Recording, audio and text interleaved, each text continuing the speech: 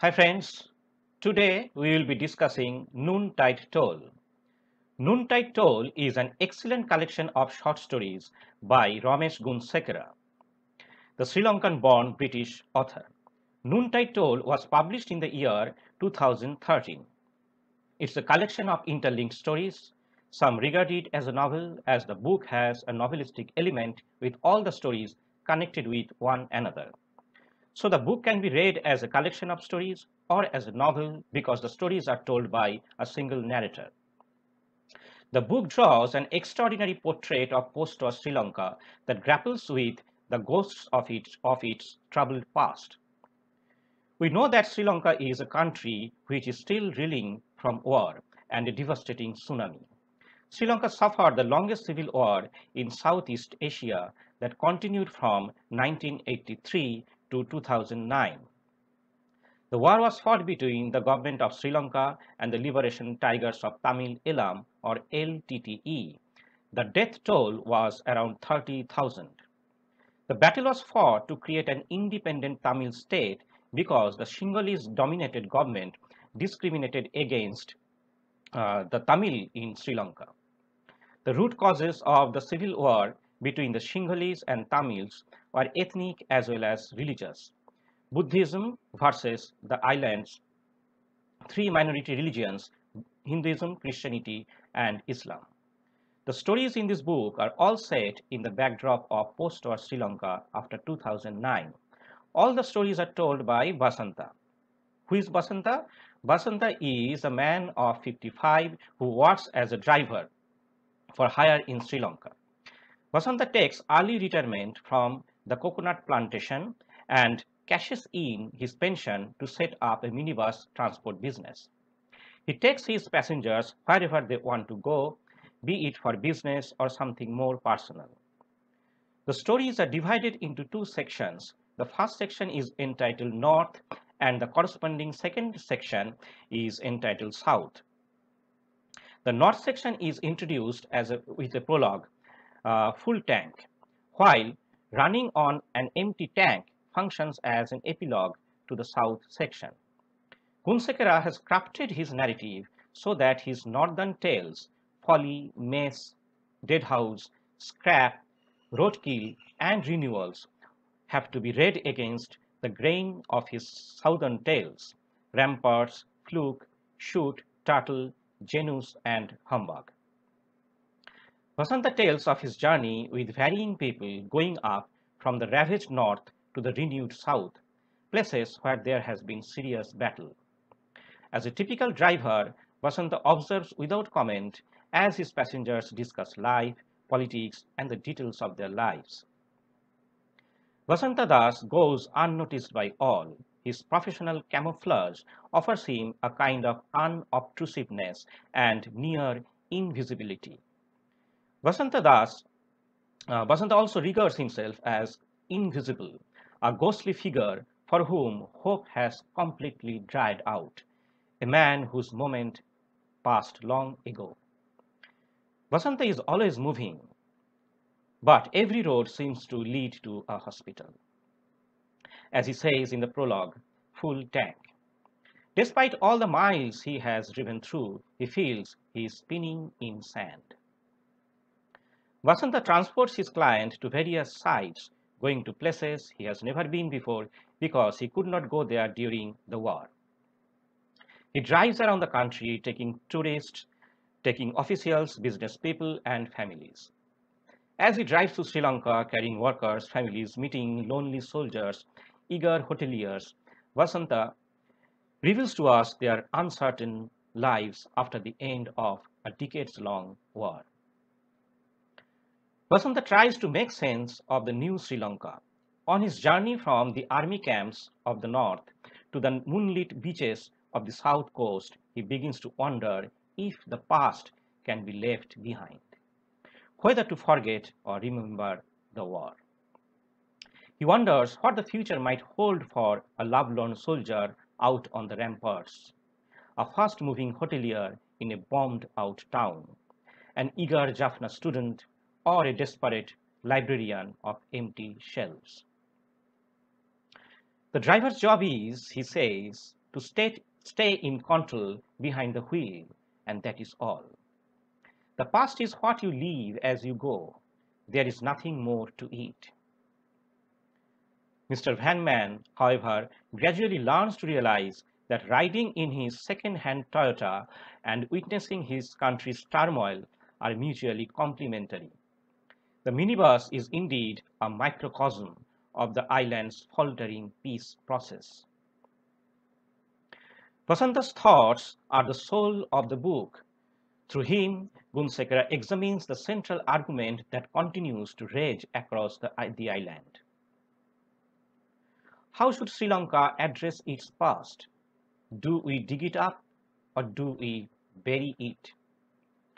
So, Noontide Toll is less about Basanta's journey than about those he transports. Through his eyes, we see snapshots of war zones, portraits of those who visit them, and outlines of what they may be seeking.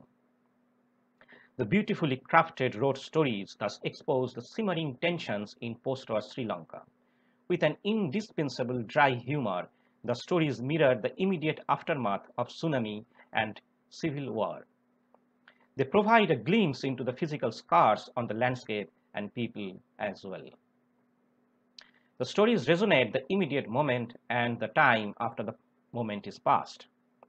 Should the past be forgotten or erased so that it heals the harms, or whether you have to confront and learn from it?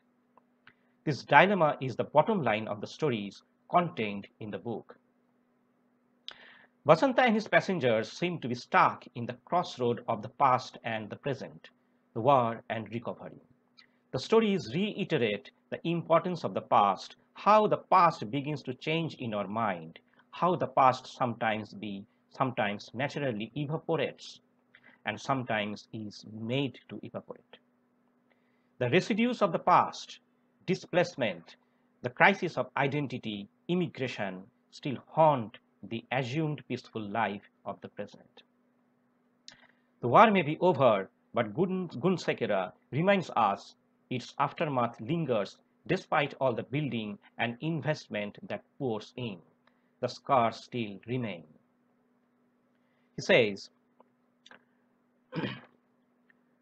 When we first heard the war, war, was over, we believed a line could be drawn between the mistake of the past and the promise of the future.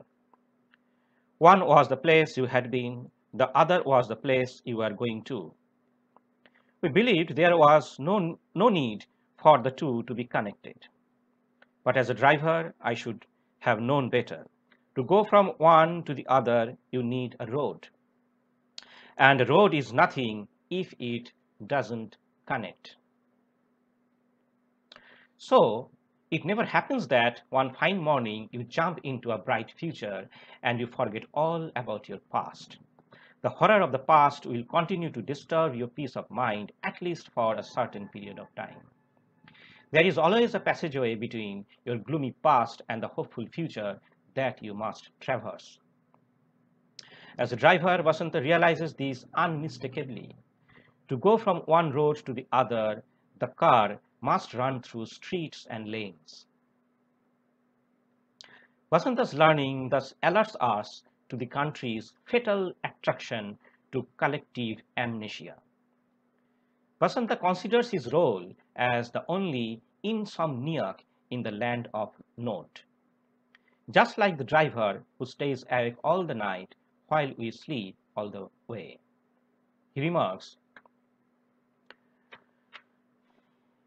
They say this island of ours is the crossroads of the world.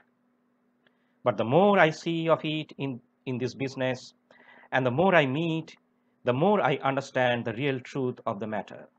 We live at one of those crazy junctions where everyone gets stranded, not knowing which way to look, never mind go. All nodding like sleepy heads, unable to ever completely wake up. Gunesekera's Noontide Toll thus explores the issues of reconstruction of the nation and redefining the national identity in the aftermath of war. The title of the story, Janus, symbolizes this issue. Janus is the two-faced god of Roman mythology.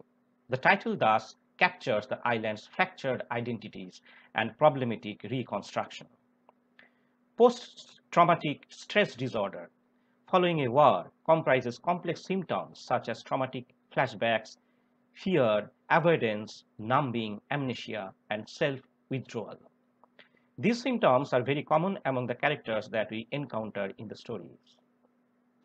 In the story, ironically entitled Renewals, Vasanta takes an important visitor to Jaffna Public Library. While waiting, he finds that he is also curious to explore the building and enters it for the first time. The burning of the Jaffna Public Library took place in the year 1981, when an organized Sinhalese mob went on a rampage, burning the library. It was one of the most violent examples of ethnic biblioclasm of the 20th century. At the time of its destruction, the library was one of the biggest in Asia. Vasanta sees that the symbols of the war are erased out as though it had never happened or were forgotten. But some people in the story still remember them. The act of blotting out such atrocities is often associated with a sense of guilt, which is emphasized in the story. The young Tamil encountered at the Jaffna Library is an avid reader of Dante's Inferno, which he considers as his passport to a more promising life in Italy, but also a grim reminder of his country's self-destruction. More than any other stories, Scrap sheds light on the need to challenge the national script of the war. In the story, Sipala, a low-ranking government official, conducts Chinese delegates to the Mullaitivu battleground. However, the tour is brought to an abrupt end as the guy registers his disapproval of one such battlefield being turned into a film set. The young director has no qualms about using a wrecked warship into a promotional video. Don't you know what happened here? Sipala asks. The young director replies, Happened.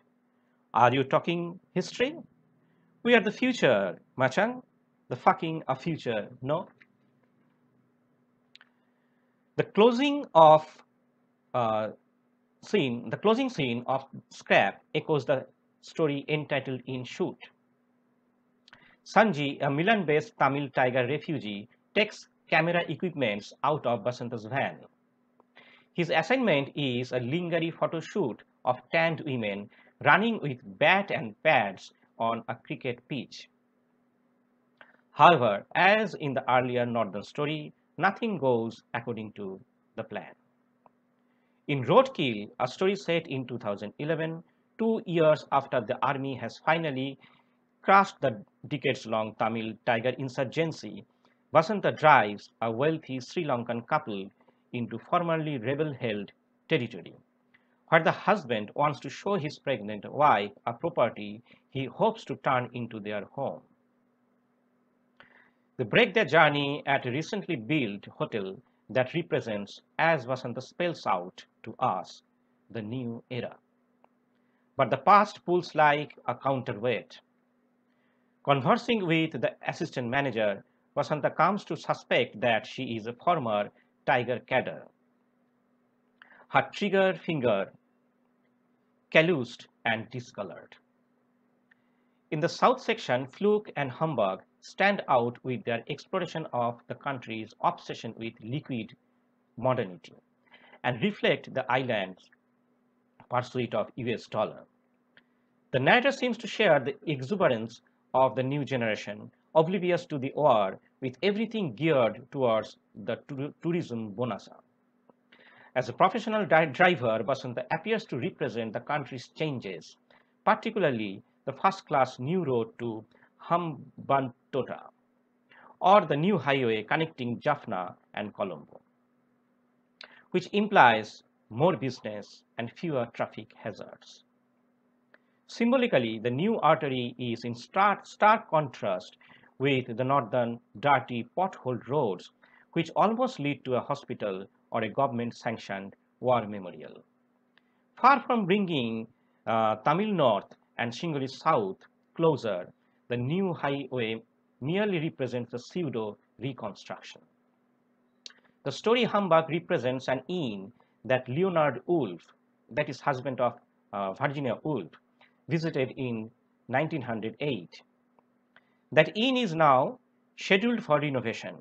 Miss Susila, the Sri Lankan expatriate, thinks that Leonard Woolf's heritage should be preserved and not to be tampered with or marketed for the sake of modernity.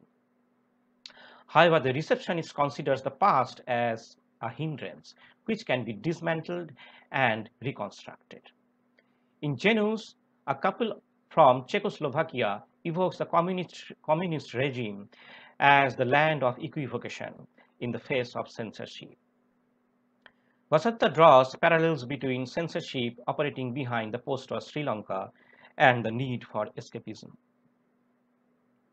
The couple views Sri Lanka as a land of amnesia, mesmerized by the death of the sun god and oblivious of the plight of the tsunami survivors. Vasanta's journey is thus a metaphorical exploration, exploration of what it is like to live in a place where there has been tremendously traumatic period that went on and on for 30 years.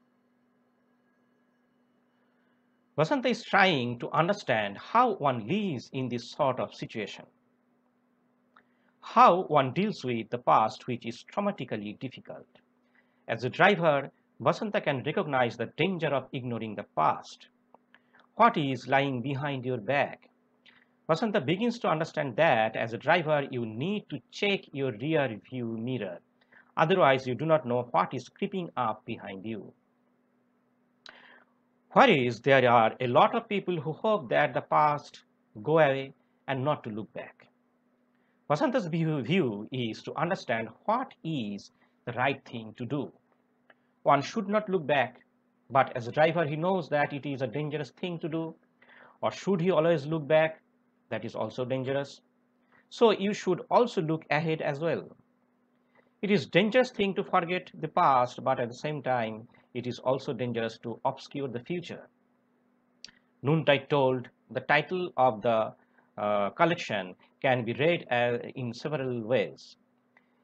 If morning is the beginning of the day and night the end, then noon is the zenith, the highest point in the life of an individual or of a country.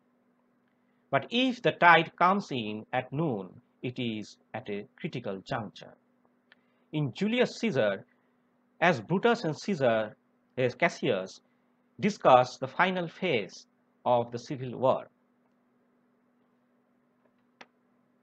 There is a tide in the affairs of men which, taken at the, at the flood, leads on to future.